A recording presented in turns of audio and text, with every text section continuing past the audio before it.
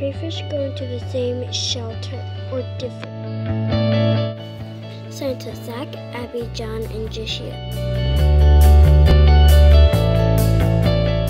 The crayfish go into separate shelters or in the same shelter. Hypothesis H1. The crayfish will go into opposite shelters.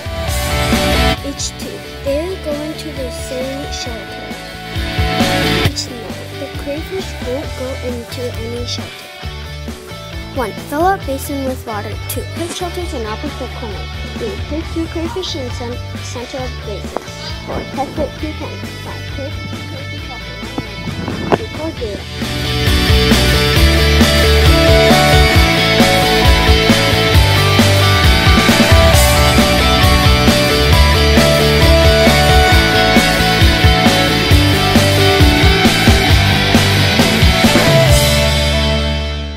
Data supports H1 and H2 because in trial 1 the crayfish went into opposite shelters and trial 2 they went into the same shelters.